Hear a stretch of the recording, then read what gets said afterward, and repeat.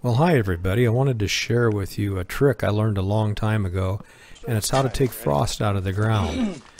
I brought in some fiber optics last fall, and you can see the ground froze before I could complete the work.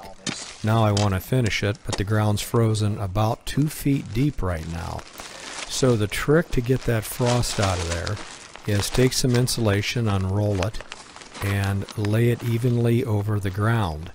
Now I've used this trick for many years to take frost out to do work around the house. Uh, in fact, to bury some uh, farm animals. I've done this before. Uh, for the cost of a roll of insulation, it works very well. Now I forgot my razor knife here, so I just simply kind of snake that insulation around and put it uh, on the ground where I wanted the frost to be taken out. And no heat has to be applied to this. It's just going to simply use the, the ground heat.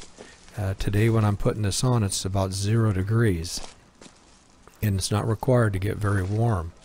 Now after I had it all packed in there and uh, pushed into place, I kind of leave it fluffy but uh, just, just put it where you want it.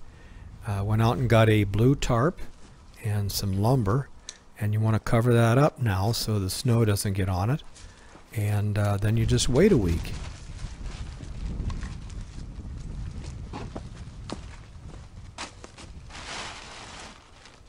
There you go. Cover it up, put some weight on it, and come back in a week. Now time got away on me, and it was two weeks before I came back. We had had a couple of light snows during that period, so just a matter of cleaning that up and getting the tarp off.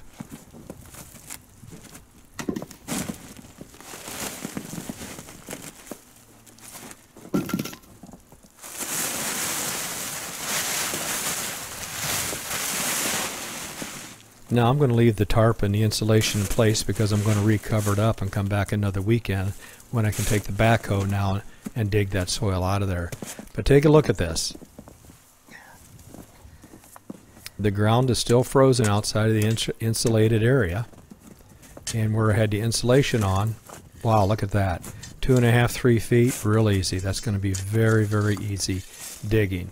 That's a pretty cool trick when you consider it was frozen two and a half feet deep just two weeks ago.